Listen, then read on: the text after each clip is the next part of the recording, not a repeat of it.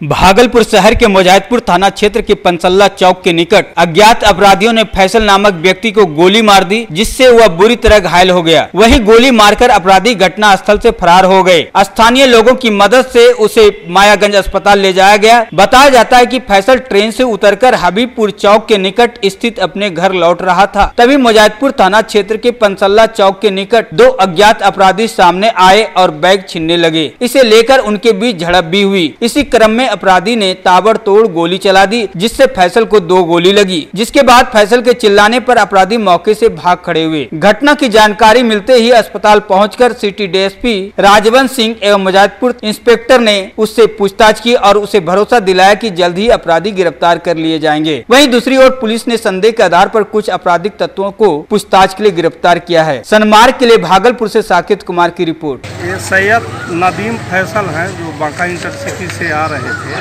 बनी चक में बासमिट्टी के पास एक अपराध कर्मी लूटपाट के उद्देश्य इनको रोका और उसी में विरोध किए तो तीन गोली इनको मार दिया, चार पाँच फायरिंग हुई है वहाँ। एक और अपराधी आया है, दो मार्ग भागलपुर के वीडियोस देखने के लिए हमारे चैनल को सब्सक्राइब करें और नोटिफिकेशंस पाने के लिए बेल आइकन को प्रेस करें।